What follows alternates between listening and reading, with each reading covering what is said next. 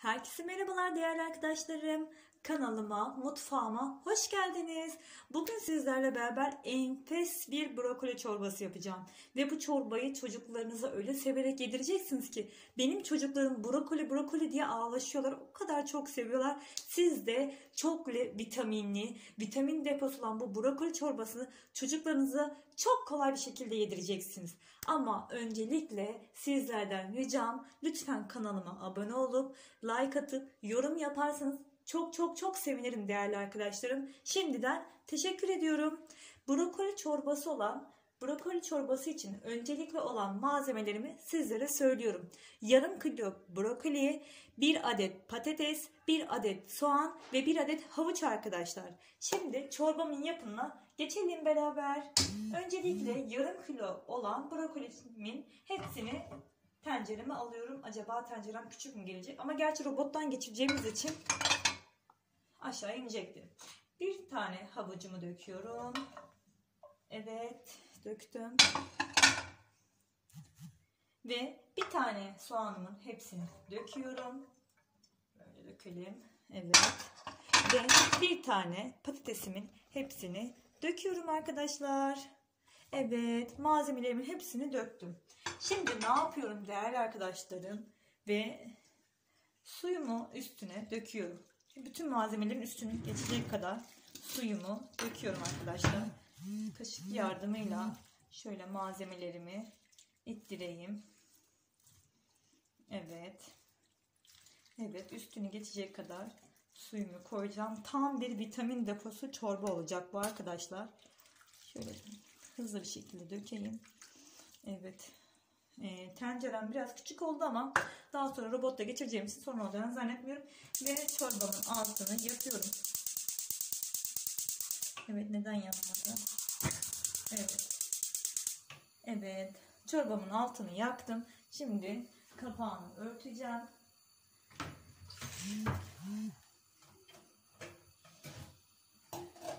Tencereyi aldım ama kapağını almamışım. Evet arkadaşlar şimdi benim çorbam burada kaynayacak. Sebzelerin yumuşayana kadar haşlanmasını bekliyorum. Hemen çorbamın sebzelerini haşlayıp geliyorum arkadaşlarım. Evet benim sevgili arkadaşlarım. Şimdi çorbam burada haşlanıyor. Onu sizlere göstermek istiyorum. Gördüğünüz gibi sebzelerim haşlayıp yumuşayacak. Ve o bir taraftan sebzelerim yumuşayıp haşlanırken ben de şimdi burada beşamel sos yapacağım. Ve bunu nasıl yapacağım sizlere göstereyim hemen. Sebzem bir taraftan yumuşarken bir taraftan da beşamel sos yapıyoruz. Tavamı ocağa koydum. 3 yemek kaşığı tereyağı koyacağım. Bu bir yemek kaşığı. Ocağım çok açık. Onu biraz kısıyorum. Ama neyse şimdi bunu açarsam sesimi duyamayacaksınız. 2 yemek kaşığı ve 3 yemek kaşığı tereyağı koydum. Tereyağım burada eriyor. O erirken tabii bir taraftan da unumu döküyorum. Unun da 3 yemek kaşığı un koydum. Unumu da şimdi döküyorum. Kameram yamuk olmuş. Umarım gösterebilirim şimdi affedersiniz. Evet yavaş yavaş unumu burada eritiyorum. Yani kavuruyorum. Evet biraz da ocağıma döktüm. Yemek yaparken illaki ister istemez ocağımız kirleniyor ama daha sonrasında pırıl pırıl etmek ve çok güzel. Mutfakta temizlik yapmayı, mutfakta iş yapmayı aşırı derecede seviyorum. Mutfağımı seviyorum daha doğrusu. Umuyorum e, sizlere mutfağımda çok güzel güzel videolar atacağım. Tabii ki tabii, ki sadece mutfağımda e, videolar paylaşmıyorum. El işlerimi de gösteriyorum sizlere. Evet arkadaşlarım, değerli arkadaşlarım unumu koydum. E, yağını da bir güzel kavurdum ve biraz süt. Göz kararı biraz süt koyuyorum. Evet sütümü çok fazla koymayacağım çünkü çok fazla süt tadı olacak bu sefer. Biraz da su koyacağım ama tabii ki şimdi birazcık bunu kavurayım. Birazdan süt de koyacağım. Evet.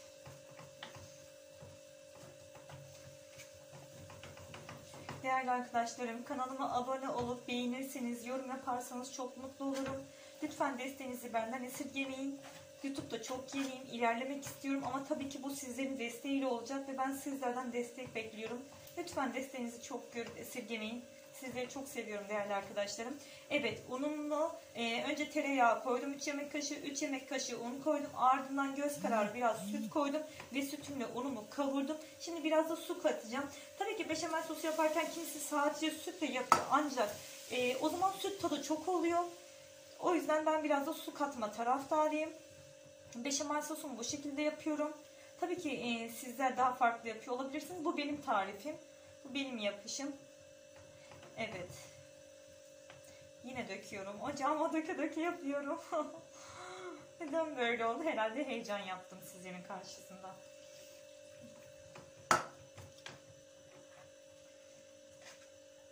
Evet çok güzel bir çorba olacak arkadaşlar. Ee, sebzelerim de yumuşadı.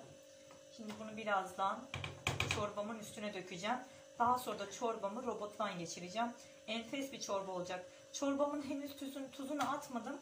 Beşamel sosunu da yapıp dökeyim çorbama. Ardından o şekilde tuzumu atacağım. Arkadaşlar sormak istediğiniz bir şey olursa yorumlarda sorabilirsiniz. Seve seve elimden geldiğince cevap veririm. Ee, tabii ki sizler e, yani görmediğiniz, kaçırdığınız bir yer olur ya da benim e, o anda videoyu çekmediğim bir yere atlamışımdır. Sormak istediğiniz bir şey olursa seve seve cevaplarım arkadaşlarım.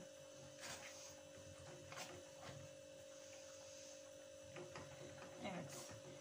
Bence gayet güzel oldu beşamel sosu. Koyulaştıkça su katıyorum. Sizler de bu şekilde yapabilirsiniz. Koyu isteyenler suyu az katabilir ama biraz daha sulu isteyenler su katabilir. Bu biraz ağız tadına kalmış bir şey. Şimdi birazdan tavamı kaldırıp buraya çorbamı koyacağım. Ve bunu da çorbamın üstüne dökeceğim. Sonra çorbamı robottan geçeceğim arkadaşlarım. Çorbamı robottan kesirirken, e, çorbamı robottan geçirirken e, videomu o anda durdurup sonra devam edebilirim. Çünkü e, robotun sesini e, sizi rahatsız etmesini istemiyorum. Evet sevgili arkadaşlarım. Bakayım kamera güzel gösteriyor mu? Kamerayı şöyle yakınlaştırıyorum. Beşamel sosum hazır oldu sayılır. Şimdi bunu çorbama dökeceğim. Evet. Beşamel sosum hazır arkadaşlar. Ee, biraz ee, hani bazı yerler tam unları şey olmuş olmayabilir. Ama zaten robottan geçirince gayet güzel bir kıvam olacak. Evet arkadaşlarım bakın. E, beşamel sosum gayet güzel oldu. Videoda da görünüyor. Şimdi bunu kenara alıyorum. E, çorbamın altını kapattım. Çorbamı buraya aldım. Kapağını açtım. Bakın yumuşadı. Gayet güzel oldu. Brokolim, patatesim, soğanım hepsi çok güzel yumuşadı. Şimdi beşamel sosumu bunun üzerine dökeceğim. Hepsini enfes bir lezzette çocuğunuza yediremediğiniz brokoliyi bu tariften sonra çocuğunuza çok güzel bir şekilde yedireceksiniz. Benim çocuklarım brokoli çorbasına bayılıyor ve biliyorsunuz ki sebzelerde en zengin vitamin oranı brokolide arkadaşlar. Evet. Beşamel sosumu da kattım. Ee, tencerem küçük oldu maalesef. Bu kadar çok yapmıyordum brokoliyi. Daha az yapıyordum. Ama büyük kızım Sılam anne çok yap bu defa dedi. Ben daha çok istiyorum dedi yemek. O yüzden bu defa biraz çok yaptım ama şimdi çorbamı robottan geçeceğim. Umarım robottan geçirirken dökmeden geçiririm. Hemen robottan geçiriyorum. Robotumu çıkartayım. Evet, blenderımı getireceğim.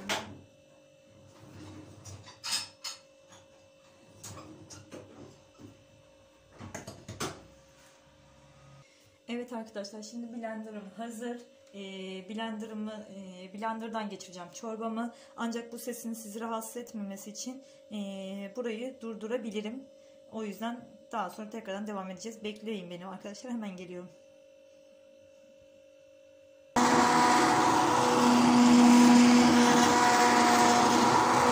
Evet sevgili arkadaşlarım e, çok az bir şey robottan da geçirirken nasıl geçirdiğimi görün diye attım. Orada ses biraz çok çıktı ama şimdi sizden özür diliyorum bunun için. Ee, şimdi çorbamın tuzunu da atacağım sizlerin yanında. Ee, iki çorba kaş, e, iki tatlı kaşığı şu şekilde tuz atıyorum. Bir tane daha atayım. Ee, çok tuz tabii ki de sağlıklı değil. Ben her zaman az tuz yemek yapan birisiyim. Evet. Şu şekilde koca bir tencereye e, dolu dolu iki tatlı kaşığı atmış oldum. Ve e, robottan şimdi bir kez daha geçeceğim. Çünkü çorbanın tuzunu attım. Blenderla iyice bir karışsın. Şimdi e, hemen bir daha geçiyorum robottan.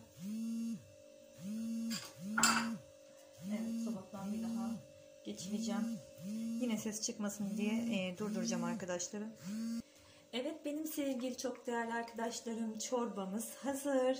Yapan, deneyen herkesin eline emeğine sağlık. Sizlere de afiyet olsun. Şimdi çorbamı tabağıma alıp bir de tabağımda görün istiyorum.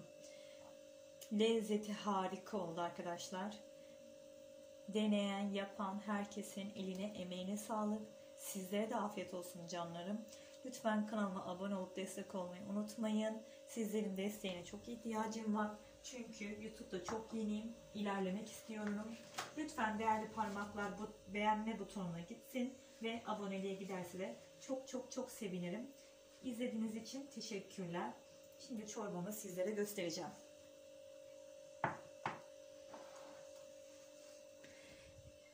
Evet benim değerli arkadaşlarım çorbamız hazır. Zengin bir besin deposu, zengin bir vitamin deposu. Mutlaka çocuklarınıza bunu yapın. Bu tarifle çocuklar brokoliye bayılacak. Afiyet olsun benim değerli arkadaşlarım. Hoşçakalın. Sizleri çok seviyorum.